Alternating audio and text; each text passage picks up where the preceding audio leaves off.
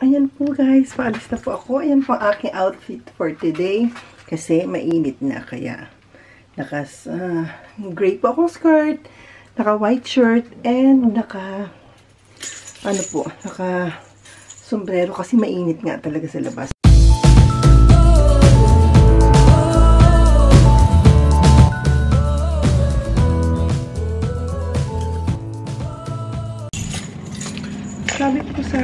Estee Salon, mag uh, nga daw po ako and magdala ng mask. So, nasa bag ko po yung mask para mamaya pagka burn na, na burn na yung aking face, ay, malabo. Pagka pulang-pulay na yung aking face, eh, at pauwi na ako. Meron po akong ano, meron akong mask na pantakip. So, bali lalabas lang sa akin is itong aking mata. Actually, sabi sa akin, magdala din daw ako ng shades para talagang tago. Pero, para naman akong mandarambong nun, di ba? Nakasumbre. Baka mapagkamanan akong, ano, may ginawang kababalaghan. Okay, guys. Kita po tayo mamaya. Ayan, guys. Nandito po ako sa station ngayon. Naghihintay ng train. Grabe nga kayo. Ano, akala mo, beach ako. Pero kasi talagang kailangan ganito ang aking, ano, sombrero. Kasi kailangan medyo cover yung face ko mamaya. Bigyan ako ng train. Uh, 3 o'clock ang appointment ko. It's 2.15 na. 無料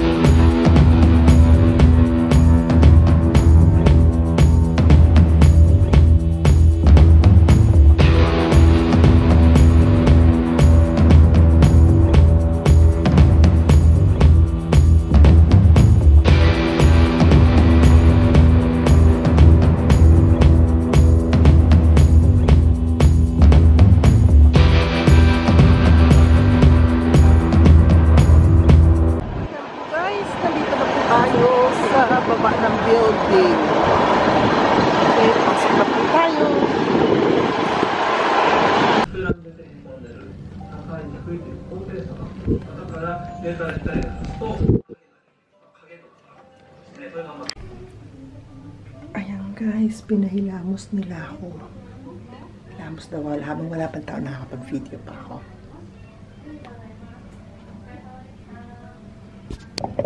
Ayan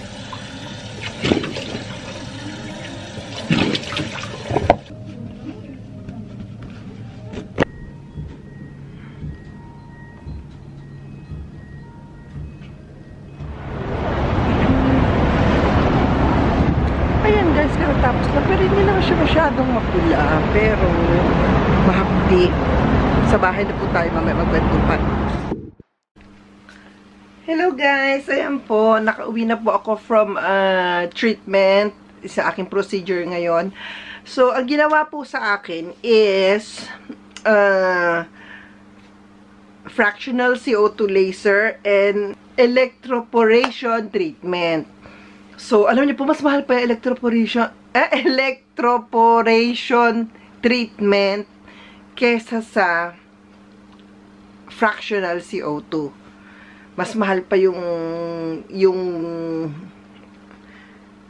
ano yun eh, parang yung massage siya, pero mas mahal pa siya pe, kesa sa C, fractional CO2. Anyway, eto pong story. Ayan po, bali 2 hours na po nakakaraan uh, after ng aking procedure. So, ilalapit po ako sa camera ha.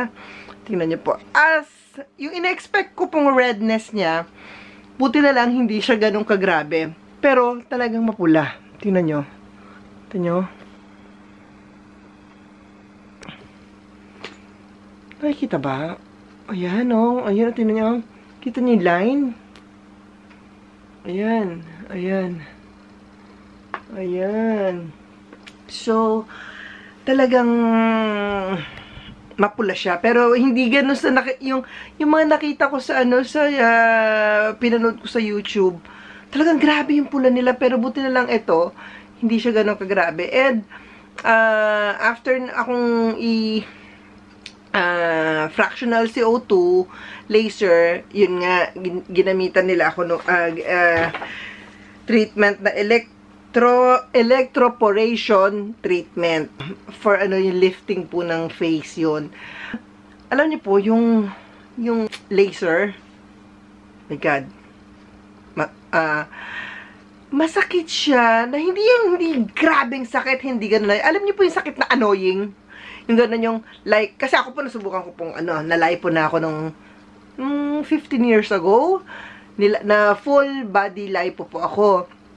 Alam niyo po yung, yung sa lipo, masakit, pero hindi siya annoying. Etong sa laser, hindi siya ganun kasakit, pero annoying.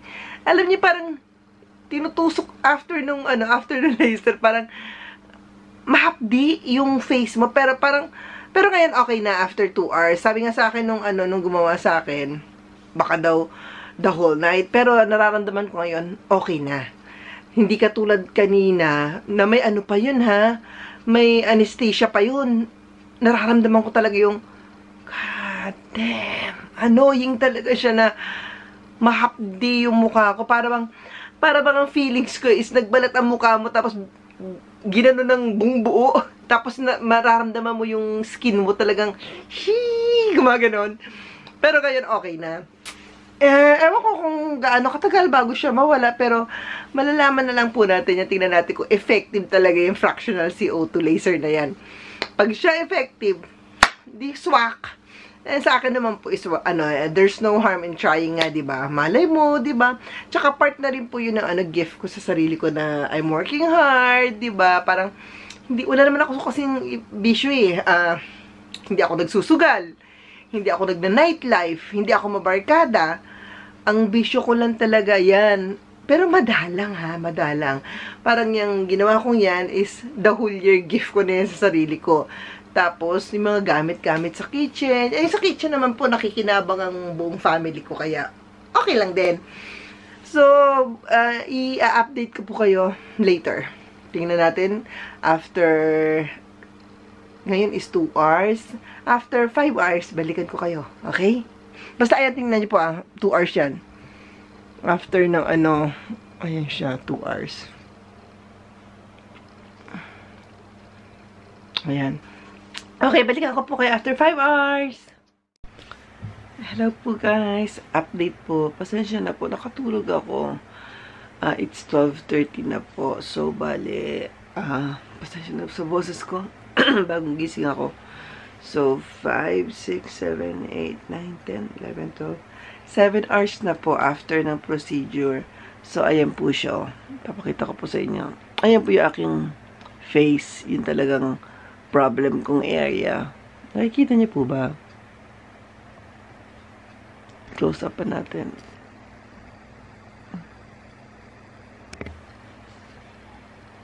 Ayun siya. So, hindi ko pa makita ang ano niya, ang difference niya kasi ang pula pa talaga. Ayan o, ayun. Nakikita niyo pa mula niya. Ayun yung line niya o.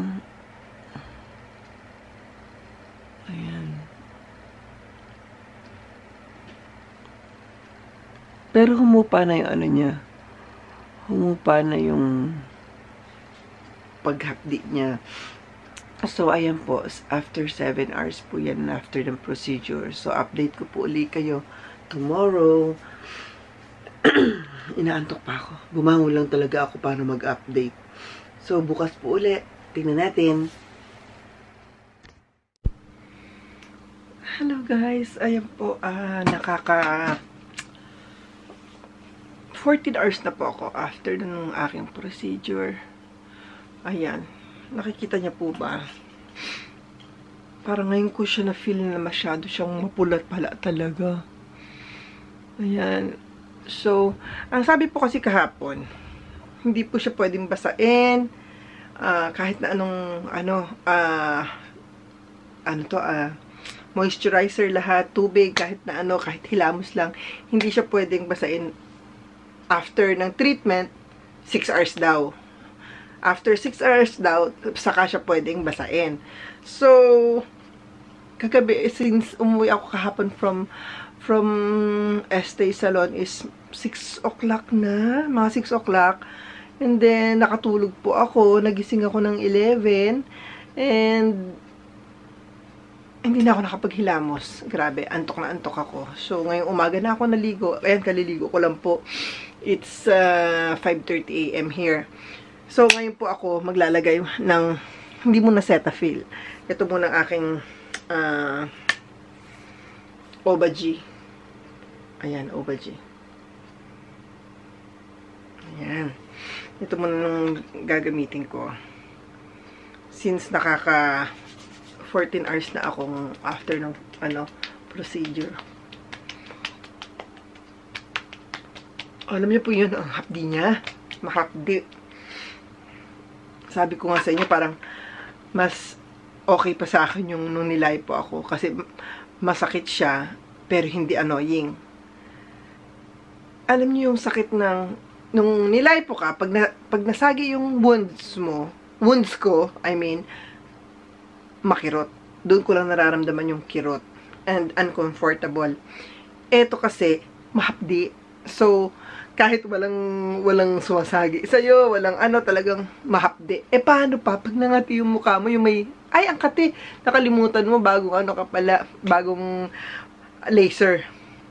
Aray, di ba? Pero, ganun talaga. Tiis ganda. Ayan guys, papakita ko sa inyo yung after 12 hours.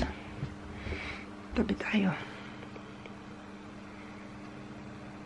Ayan siya. Ang di ba? Oh, grabe oh. Talagang sunog ang aking balat.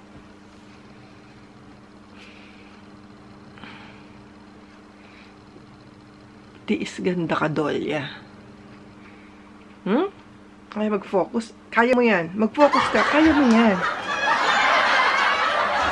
Okay, so, babalikan ko po kayo uli after, siguro after 24 hours na. Mamayang hapon na ako mag-update uli sa inyo. Pero talaga, grabe ang pula niya. Ano nga daw pala, ah, di, di ba kahapon yung procedure? Kung gusto ko daw ng next procedure is after one month daw. So, pwede ako magpagawa uli ng ah, July. Grabe, oh, kita niyo yan. So, siguro last week of July, sasalang uli ako. Gusto ko talaga siya makita kung anong effect niya. Grabe, nag-dry ang ano ko, pati lips ko. So, okay guys, balikan ko po kayo mamayang hapon. Update ko po kayo sa itsura niya. Hi guys! Ayan po, update po. Uh, 18 hours na po. Uh, after ng procedure, 18 hours na siya. Grabe, ang pula. Pula-pula niya. Pero hindi na siya ganun kahapdi. Pero parang kahapon, after ng procedure, hindi siya ganun kapula. Pero ngayon, ngayon siya namula ng husto. As in, ayan. Ayan, ayan, ito yung um, part na gusto kong mawala. I-close up natin.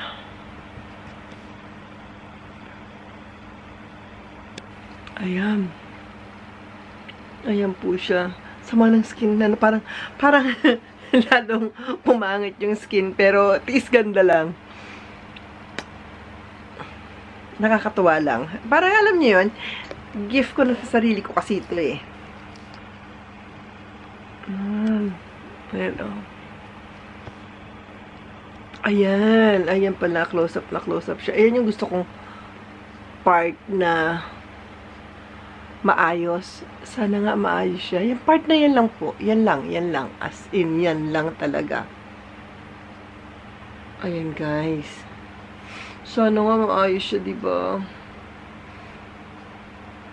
Tapos all the rest, okay naman sa akin. Wala akong problema.